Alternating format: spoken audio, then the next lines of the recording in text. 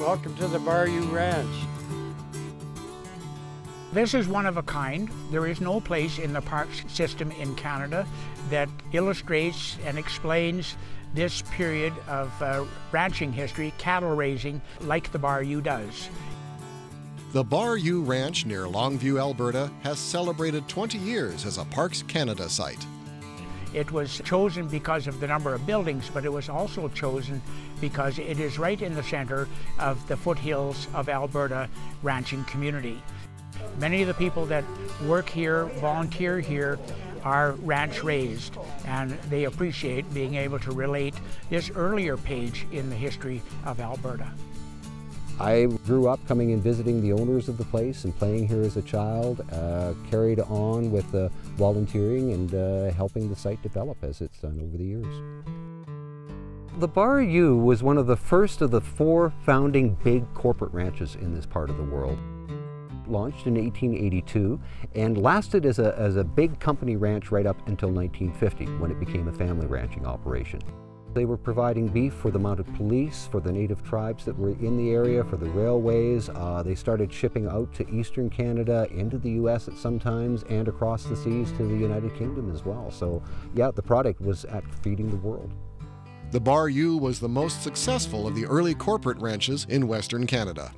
The other ones didn't last as long. We had devastating blizzards. Some of those big ranches just couldn't take the loss of what uh, the livestock had happened in those blizzards. So through natural causes and in some cases management, the other ranches didn't go on as long.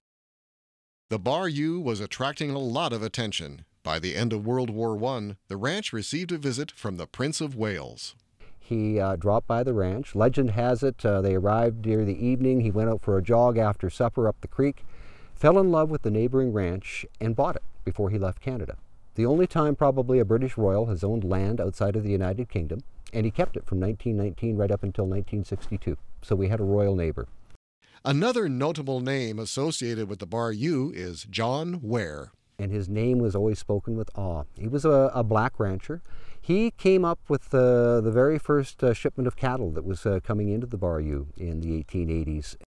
Legend has it he was a, a, Carolina slave. After the Civil War, he went to Texas and learned uh, how to handle horses and how to handle cattle and uh, got a job on this drive up to the Bar U.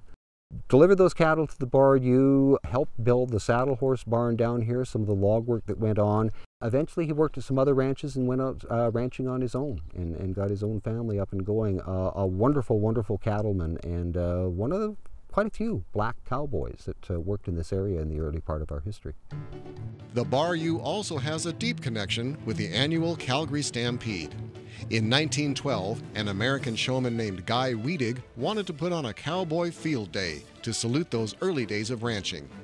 Weadick approached Bar U owner George Lane to ask for financial backing. Lane agreed, along with two former Bar U managers, Archie McLean and Pat Burns, and a man named A.E. Cross.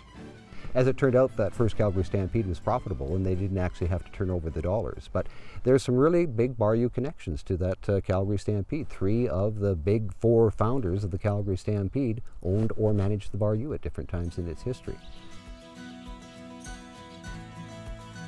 The Bar U operated as a, a family operation from 1950 right up until 1991.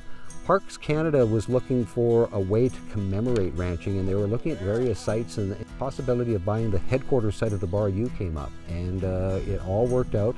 Parks Canada bought the headquarters site of the Bar U in 1991, 367 acres and all of the historical buildings. Uh, they opened the site in 1995 people from the area have always uh, felt that this was a magical place and we found more and more as we're sharing the stories with visitors from around the world once they get here uh, you can almost see the smiles start to form as they start to wander around the site and uh, the site has a way of just enveloping people and giving them a real good sense of what had happened to develop this part of the world.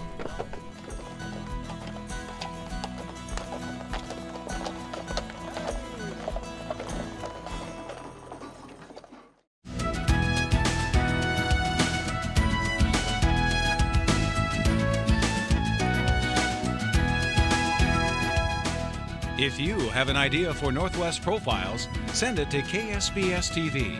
3911 South Regal, Spokane, Washington 99223. Northwest Profiles is a presentation of KSPS Public Television.